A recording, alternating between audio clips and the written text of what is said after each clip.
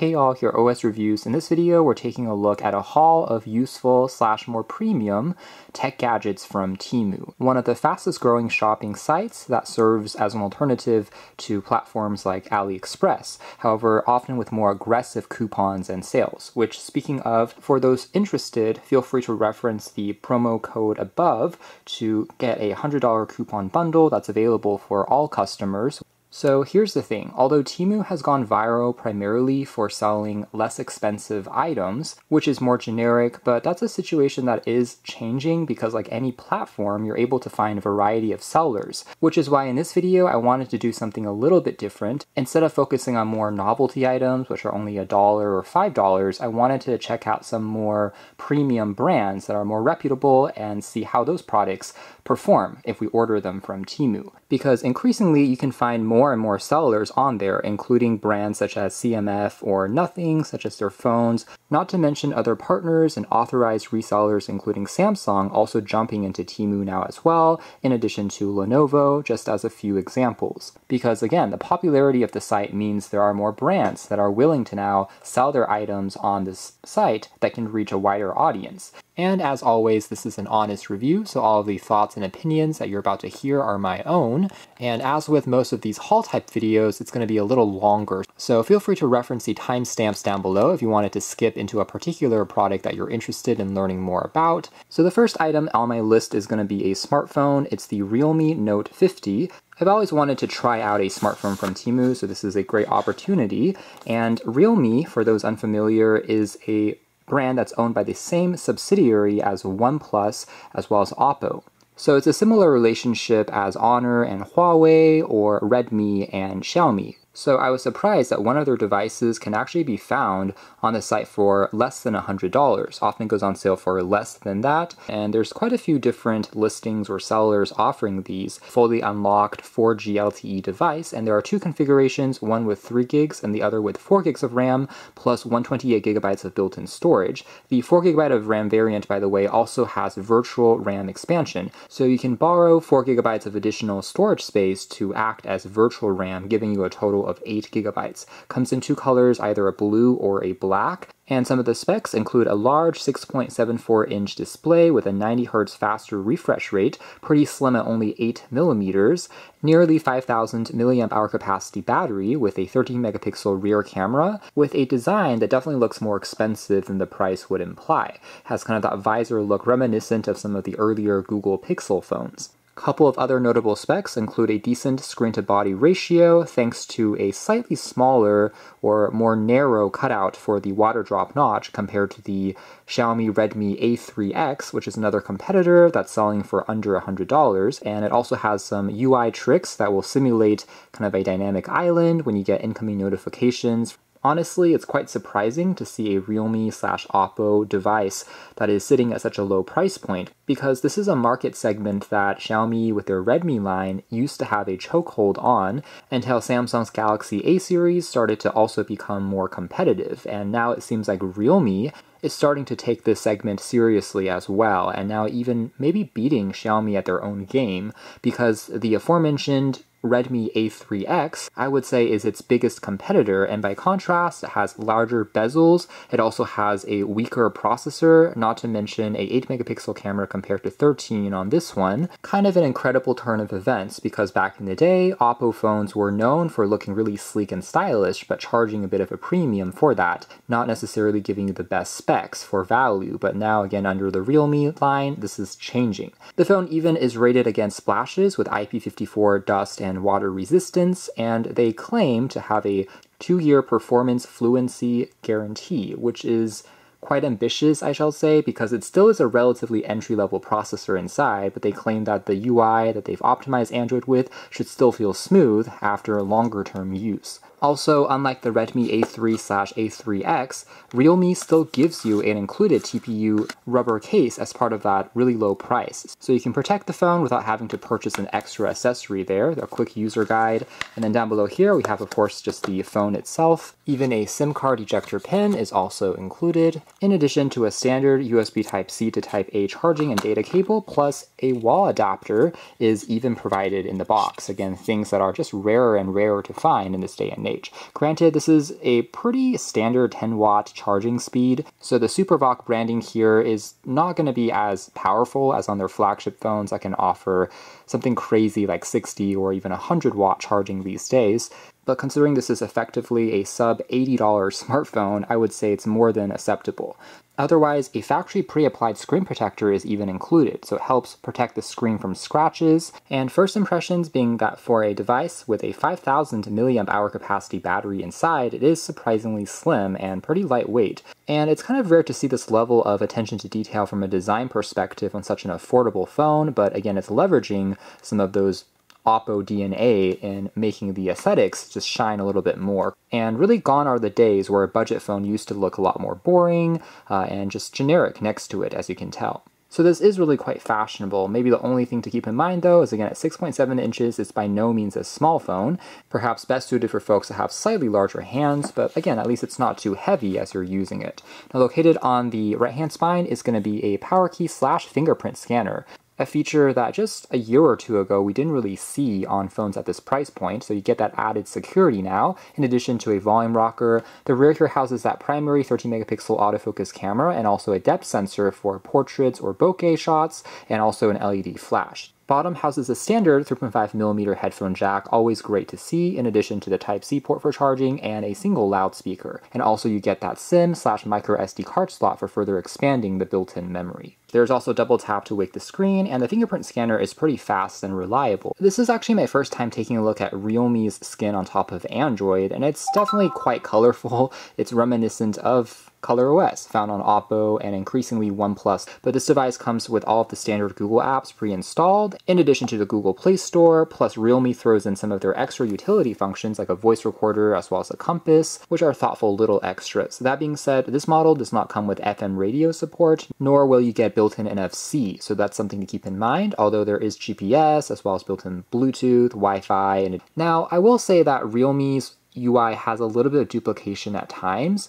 but the same can be argued for Samsung's One UI as well. For instance, they have their own app market, aka App Store, in addition to the regular Google Play Store, in addition to Realme's version of a web browser app, but you already have Google Chrome built in as well. Not to mention Realme's version of a Photos app, in addition to regular Google Photos, is on here. So there are two kind of applications for performing many of the same functions, but at least you're able to choose what service you prefer. Now, otherwise, there are plenty of other small customization details in this particular UI, including plenty of colorful and vibrant looking wallpapers they can use to change the way the phone looks. The drop down notification drawer also has slightly different icons versus stock Android. Again, a little bit more reminiscent of, say, One UI with its rounded nature, but still looks attractive enough, allowing us to activate features like live captions, as well as screencasting, in addition to turning on and off wireless options. Now we can also drag down in the middle of the screen to pull up a universal search. It's also a good opportunity to see that the screen, again, has a pretty solid overall I would say screen to body ratio. It seems decent for a budget phone. There's just a slightly larger chin at the very bottom, but even that is really not bad compared to budget phones of yesteryear. Although, of course, brightness levels are not going to be as high as a more expensive OLED or AMOLED display, but it can still reach nearly 600 nits. In more shaded regions, it still looks decent, and also the contrast isn't bad for a LCD screen, as you can tell here. Additional properties that you can adjust include a more vivid option versus more color accurate, as well as a neutral slash warmer color temperature based on your preferences, and again, and the refresh rate, you can dial down to something like 60 Hz if you prefer elongating the battery life, although again 90 Hz I would personally just leave on since it makes scrolling through the UI feel a little bit more snappy and responsive. Which speaking of, the phone is powered by the Unisoc T612 processor, which again is a little faster than the T606 found on the Redmi A3X, and it definitely makes a slight difference when you're navigating around the UI. Honestly, it doesn't feel too choppy or sluggish, particularly if you give it just a moment after after it first starts up,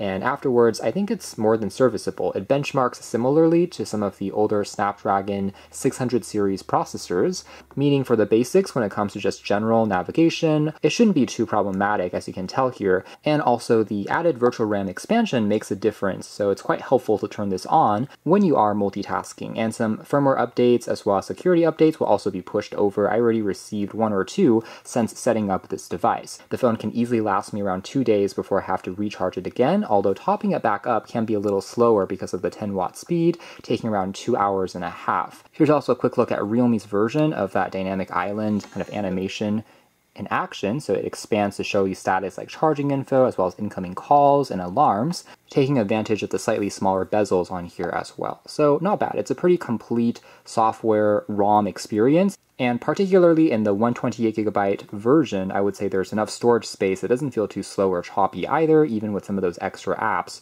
Otherwise, briefly looking through some of the extra utility functions here, including this is the weather app. Here's also a peek into the camera UI. So again, it's not going to be anything extraordinary because at the end of the day, still a budget phone, but still 13 megapixels gives you a little bit more detail versus the Redmi A3's sensor. Features here include HDR, a beauty mode, as well as scene filters that you can apply on top of your images. And there is AI scene recognition as well, which will increase the contrast of certain photos depending on if you're pointing at flowers versus food, for example. Google Lens support is here as well, and video can be recorded up to full HD 1080p resolution. There's a night mode that slightly increases the exposure time in lower light environments, as well as again the portrait mode, which will blur the background using the secondary depth sensor. Plus, under more, you can find time lapse, panorama, as well as a pro mode, changing ISO and exposure settings in a more granular way. So here's a quick peek at some of the results. Overall, really not bad, particularly if you are in well-lit outdoor environments. You can still get some pleasing enough looking shots. Again, it's not going to beat the latest iPhone or Pixel, but there's a huge difference in price here. And at least it is better than some of the smaller phone manufacturers out there. In fact, it can even give you some surprises from time to time. It can focus pretty quickly up close. So this is a tiny little flower, and you get that nice, again, background blur which makes the camera, again, just look a little bit better than you will expect for such a low-cost phone. HDR is also doing a decent job of still keeping the skies in the background preserved with some textures. I'll also mention that, again, the display looks quite good from a color perspective for, to say, IPS LCD, although resolution is standard kind of HD+, so it's 720p, not really full HD or 1080, but then again, for an $80 phone, it is kind of expected, and as long as you're not really pixel peeping or looking super super close, it still is a nice visual experience that gets the job done. The only maybe missing functions would be a ultra wide angle lens or a telephoto for zoom, but again, kind of expected emissions at this price point. So optimization from Realme's part is not bad at all on such a low cost device. Again, it just feels a bit more polished than you'll expect. A few more examples of other applications including web browsing, you can tell that loading speeds are also reasonable enough. Pinch to zoom feels fine as well. So overall, processing speed, it's not going to be too irksome for just casual usage uh, on tasks like these. And in terms of reception quality, I was also pretty impressed with both Wi-Fi as well as cellular connectivity with T-Mobile. I was getting almost full bars, in fact, in both instances because of the plastic chassis. And so staying connected was generally not a problem either. Here's also a quick video playback test.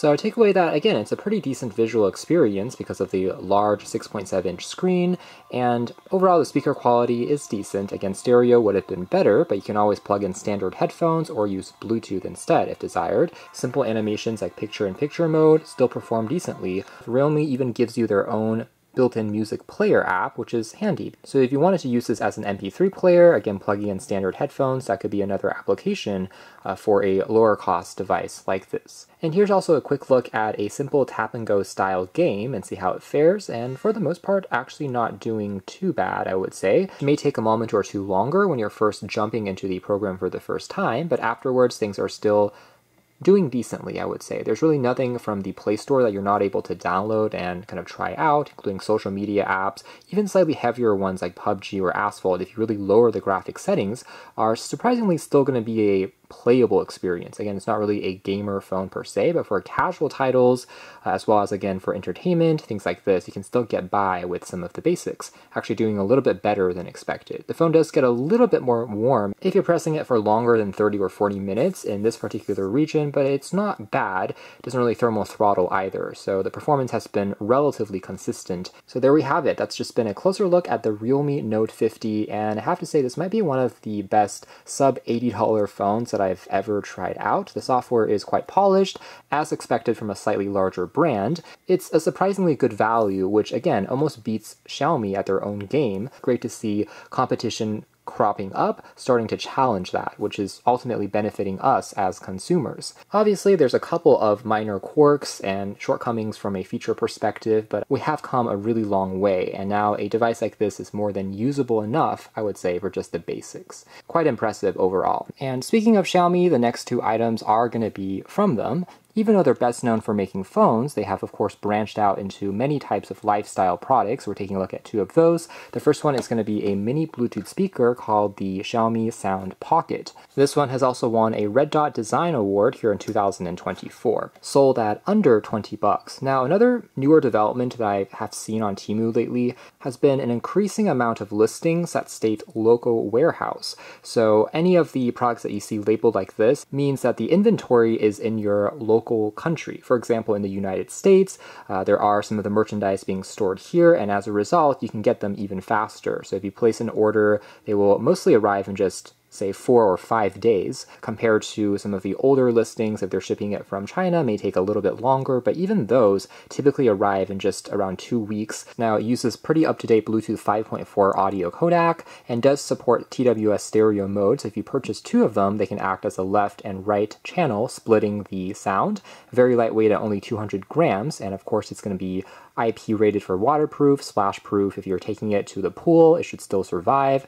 having a built-in lanyard and a microphone as well that you can use to make phone calls.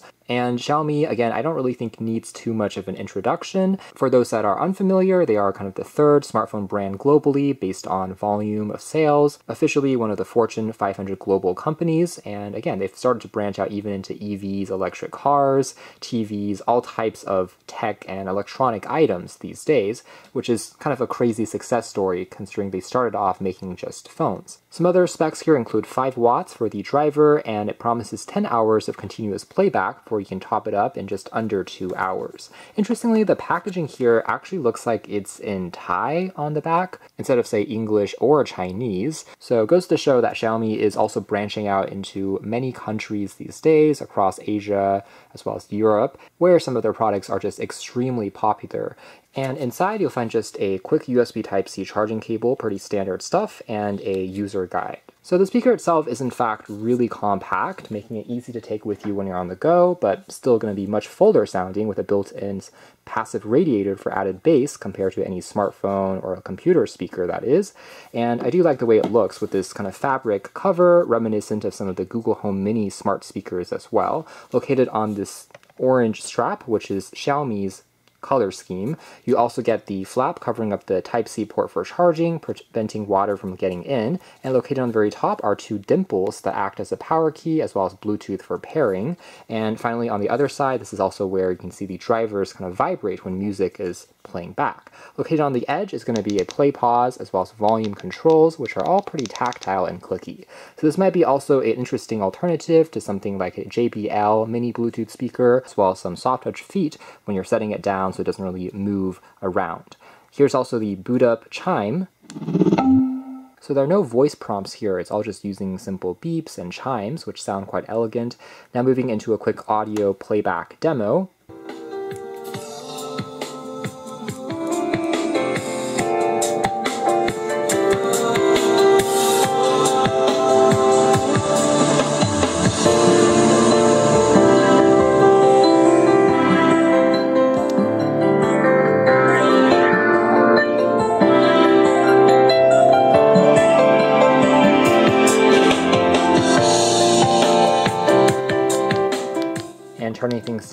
Overall takeaway is audio quality is really quite impressive for something that is so small a pocket-sized mini speaker. You have that again added bass with the passive radiator here on the side, but then the main speakers on the front are responsible for the trebles as well as the mids, giving you surprisingly impactful sound from something again so small. Very little hints of distortion or static, not too much latency here either because of the up-to-date Bluetooth 5.4 codec, so the audio and also the video are pretty much synced together. You can definitely enjoy YouTube or Netflix really without any problems. A great party speaker, travel speaker just to take with you when you're on the go, I would say. So like many Xiaomi products that we've tried in the past, this one just really works as expected. Next item is going to be the Xiaomi Mi Electric Precision Screwdriver. This one goes for around $30, and it's another one that I was kind of surprised to find that Xiaomi actually makes one of these. You have two adjustable speeds with a pretty minimalistic design crafted out of aluminum alloy as well as steel, and it's magnetic, so all the bits and pieces will just pop into the case by themselves when you're not using it, making the process of assembly or DIY projects just a little bit easier. You don't have to really press or exert as much pressure or force. Xiaomi also touts many safety functions with the design as well as the battery rated to be drop, shock, and temperature proof. Here is the rotational power of the motor inside. Recharges using USB Type-C and claims to last around 400 screws uh, before you have to recharge it again, taking around an hour and a half to top up. And more specifically, there are 24 different size tips inside that can open up, again, majority of products, including watches, phones, laptops, so on and so forth. And there are six kind of longer heads at 45 millimeters and 18 slightly shorter, 28 millimeter size ones. And by the way, on the side of the box, we can see all the different types of tips that it supports. And inside the box, we have, of course, the screwdriver with its carrying case. We'll take a closer look at in a moment. It's crafted out of aluminum alloy, so it does feel really cold and reassuring, quite premium to the touch. We also have a standard USB Type-C charging cable, and then the user guides. It is pretty well documented. What is interesting here though is there's a separate sheet that is about the original manufacturer, which seems to be called Hoto. So it seems like Xiaomi might be partnering with this brand to technically bring this particular item to market instead of making it completely in-house themselves, uh, similar to how on their Xiaomi Mi Bands, those smart fitness trackers slash smartwatches are technically manufactured by Amazfit, which also now creates their own wearables as well. But this is the one that's branded by Xiaomi Xiaomi just leveraging the expertise of that other co-partner brand. Push on the top to basically expand and see all the parts of the screwdriver. It then just locks in again if you give it another push. So there's a kind of spring-assisted design, and the actual screwdriver, including the different heads, are again magnetically held into place, uh, just making it a little easier for you to then pop everything back in, and if you are accidentally dropping this thing, it's not going to fall out. Again, all the pieces are presented and labeled in a fairly detailed way, so you're able to more precisely know which size you want to use, and the actual screwdriver has a very premium aluminum alloy unibody feel, almost like something that Apple, for example, would make, and you have just two keys for the different directions of twisting clockwise or counterclockwise the actual screw, and the pieces just, again, fit in magnetically, so it's a very simple mechanism that feels quite elegant, snapping into place, and then you're ready to use it. The grip also makes it still quite comfortable to hold, and then on the rear here you can change between the two speed dials, as well as, again, charge it using standard USB Type-C. So we're going to start off in the first speed mode. The middle, by the way, is turning it completely off, and we can now begin to, again, twist on the top and it will start to rotate. So the speed you can completely control just by kind of pressing for longer. It will of course twist for longer as well, but the moment that you release, it basically stops. It looks like the torque and motor in there are quite precise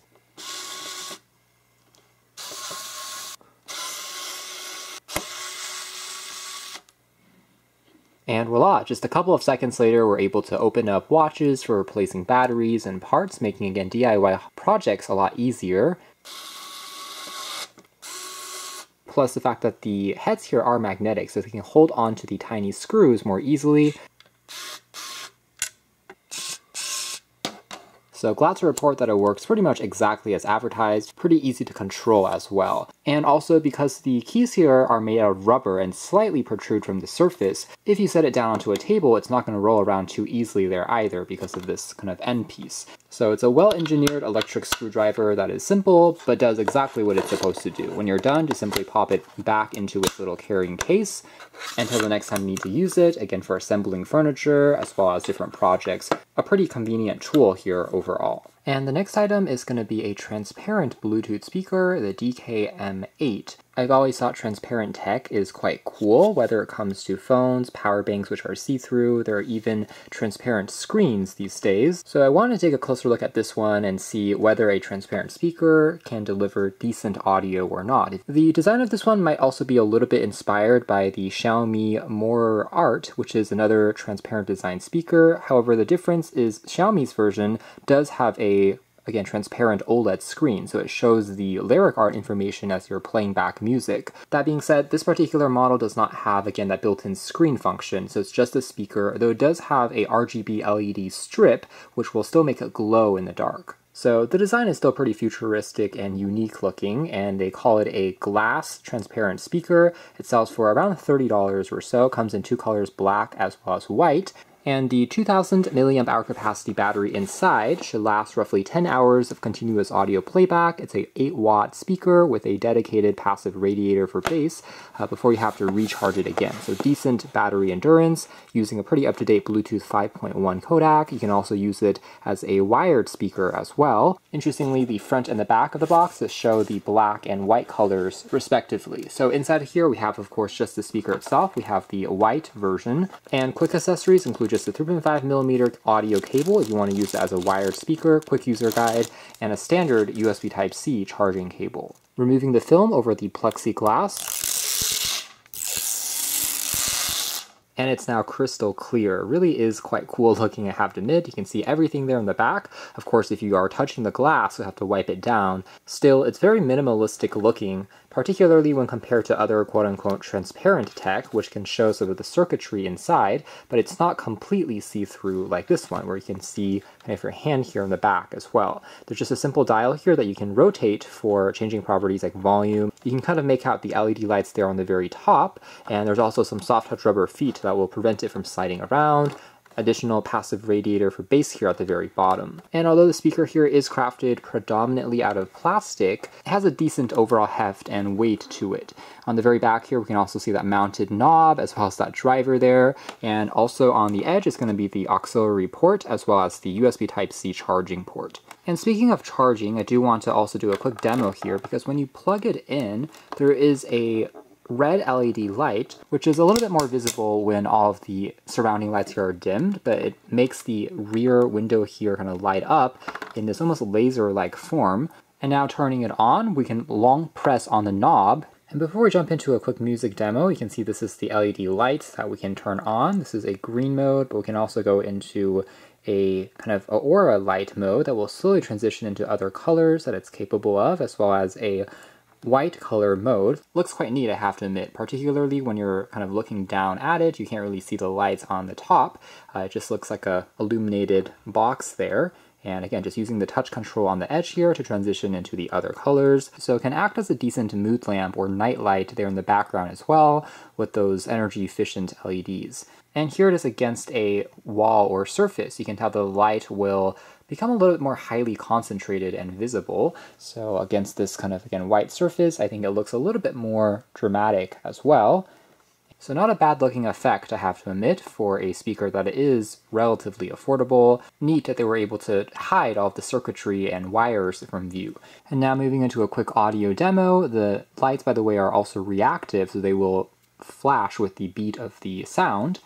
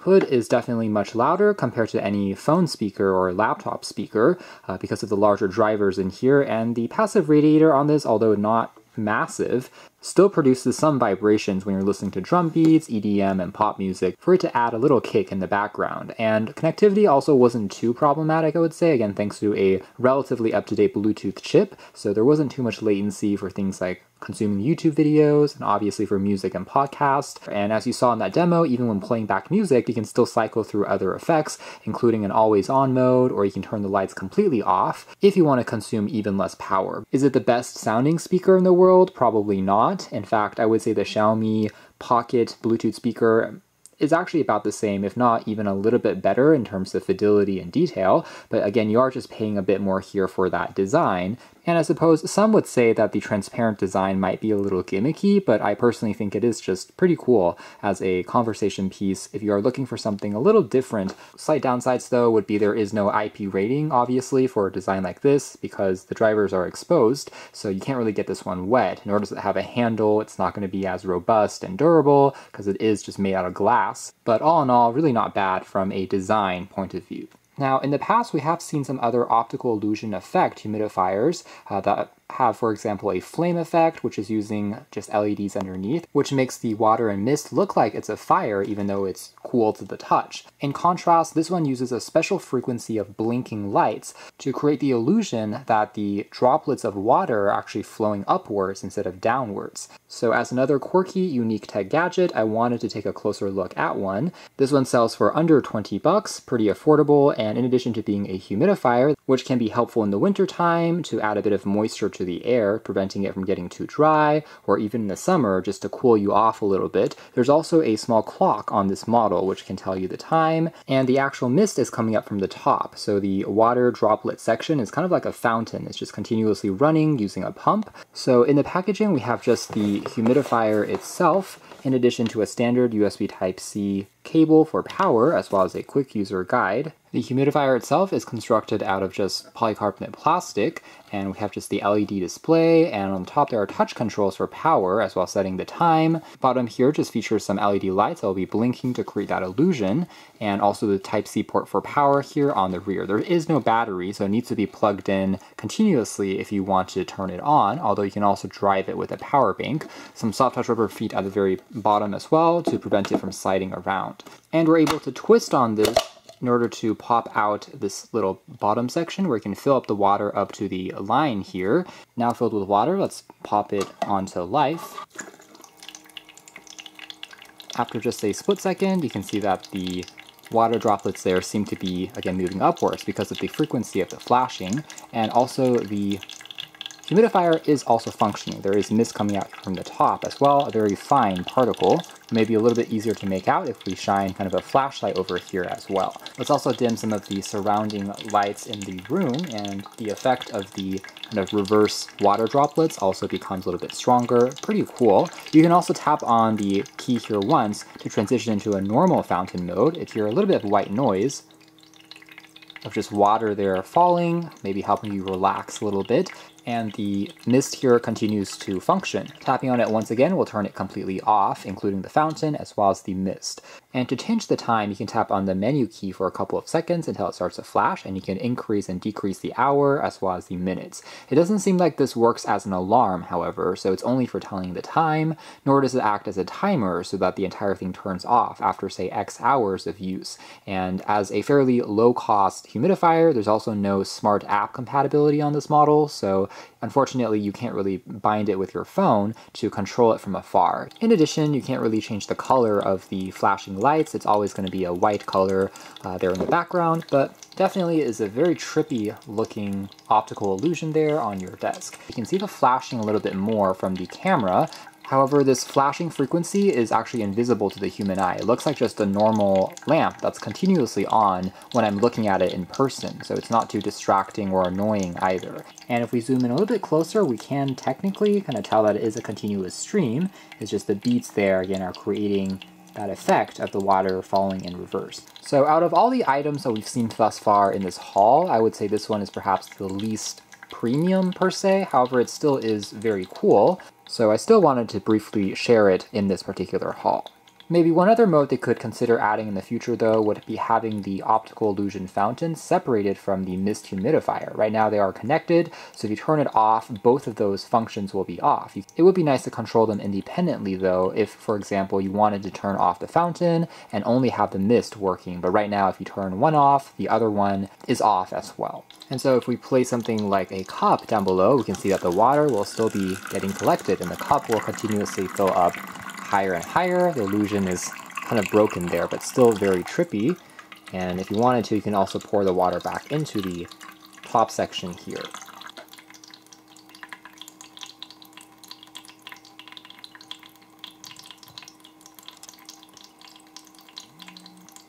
And last but not least, the final item in today's haul is going to come from Baseus. It's a USB Type-C cable, which in itself is nothing particularly special, but I do really like Baseus products. We've checked out a lot of their items in the past when it comes to wireless headphones, in addition to even power banks and other peripherals, and I think of them as a solid alternative to Anker as well as Xiaomi ecosystem brands. The majority of their products are pretty high quality, despite an affordable price point. For example, example, this particular fast charging cable goes for less than $3 a pop. In fact, I've actually been using a red version of their charging cable for the past three years, and it still functions as my daily driver for charging laptops and smartphones. So durability has been quite good. The cable should be smart enough to stop charging once battery reaches 100%, claims to not overheat, and works with any Type-C device, supporting up to 100 watt, so rapidly charging up smartphones as well as laptops alike. Baseus also claims additional strands inside for added durability on this particular model, crafted out of this kind of nylon material. You can find it in either one or two meter long lengths, and it also works with data transmission if you're trying to copy files back and forth from a computer to a phone. So again, the product itself is nothing that we haven't seen before, but Baseus is a brand that I personally trust with many phone peripherals and tech accessories, so I think it's also fitting to include them in this particular haul. Anyways, packaging here is quite simple. Now this particular message, everyone is using Baseus might be a little over ambitious, even though I like this brand and they do have millions of fans and users across the world, but that slogan might be a little too much. Nonetheless, on the back, you can also scratch off the sticker to check if it's an authentic product or not. Packaged in just a Ziploc bag, and in addition to the cable itself, we also get just a quick user guide. Sadly though, this might be the first Baseus product I've checked out, which doesn't give you a sticker pack in the box anymore. This is something that came with the last USB Type-C cable I purchased three years back, and it's still included on all of their other items that we've seen recently, like their wireless headphones and power banks, but of course those are more expensive items as well.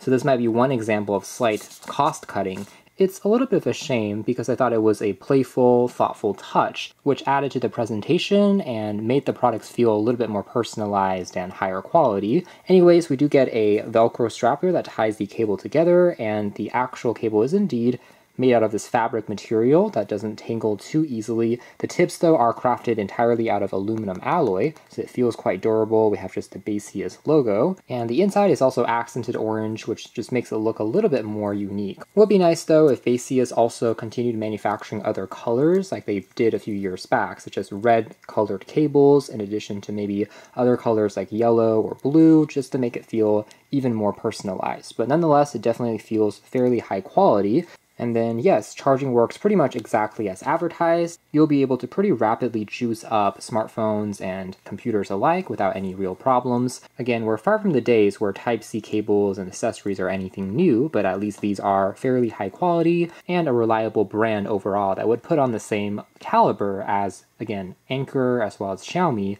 So there we have it. That's been just another haul of, again, tech gadgets from Temu, focusing on slightly more unique design or more trustworthy brands. So kind of breaks the stereotype that Temu only offers really generic items. Uh, again, these days you can find increasing amount of retailers partnering with them. The Xiaomi and Realme devices, for example, came in just around three days in my personal experience, which is really fast. I'd say it's been a fairly successful haul most of the items here I think have performed quite well. So if you've been a little hesitant to try out Temu in the past because of, again, less well-known brands, well, again, it just depends on if you're shopping around and searching specifically for those or not. This serving as an example or survey of some more well-known brands and players that you can now find on the site. You can learn more details if interested in the links down below, but for now that's been our video. Thanks for watching here at OS Reviews. That's been, again, a closer look at some more useful slash cool tech products from Temu.